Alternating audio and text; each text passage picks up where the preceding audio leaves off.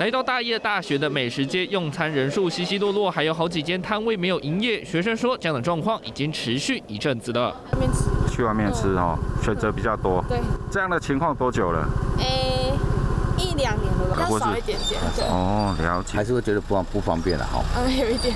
还有学生说，美食街在前年底突然无预警关闭，校方紧急向外订购便当，才让全校六千多名师生不会挨饿。现在美食街虽然重新营业，但摊位减少很多，选择也变少。比较多的时候少蛮少的，那现在是大概少了多少了？三四家。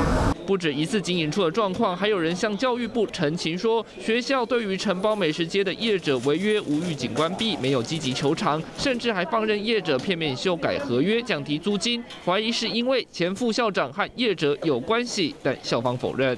摊上的那个营业数还是将近有达到四分之三，所以都是可以满足现在目前将近六千位师生一个用餐的需求。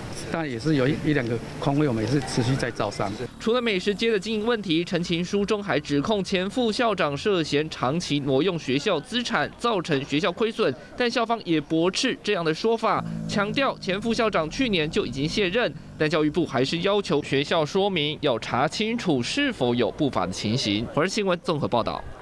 Hello，大家好，我是奶鱼，要教给大家两个任务。第一个，华视新闻的脸书专业，你按赞了吗？还有华视新闻的 YouTube 频道，赶紧订阅起来，还要记得按赞，开启小铃铛哦。